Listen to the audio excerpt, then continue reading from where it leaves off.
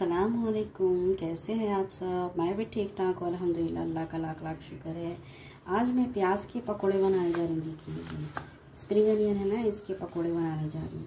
Three पंच ली मैं। इसको धो के कट करके दिखाऊँगी मैं। देखिए, मैं एक कप से भर के एक कप फुल ले ली मैं बेसन। उसमें ये इतना अदरक लहसुन डालें, हाफ़ टी स्पून अदरक लहसुन और ज़ीरा, हाफ़ टी स्पून धनिया half teaspoon one teaspoon मिर्ची है लाल हल्दी का टी स्पून है, नमक। एक टी स्पून से थोड़ा कम है नमक।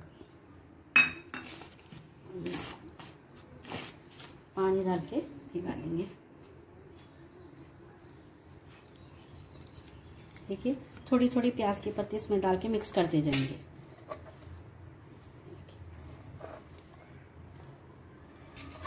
अब मिक्स कर लूँ मैं इसको।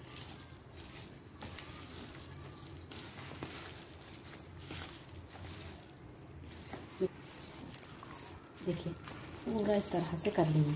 अब एक कढ़ाई में ऑयल गरम करके फिर मैं आपको कैसा डालना है बताती हूँ। ये अच्छे से मिक्स कर लेना है पहले।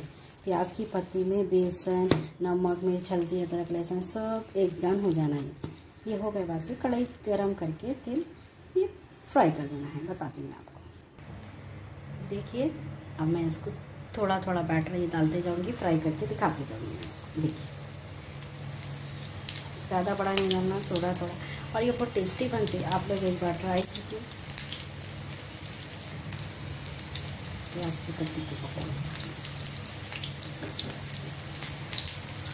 की ज़्यादा काम नहीं है इसमें। बस कट करना है, बेसन के साथ खोलना। भिगाना करने की झंझट कुछ भी नहीं। जब का जब इंस्टेंट बना सकते हैं और टेस्ट भी रहते बच्चों को खिलाना चाहिए, हड्डियाँ घट होती अपने, प्याज की पत्ती से। ट्राई कीजिए आप लोग बताती मैं आपको देखिए।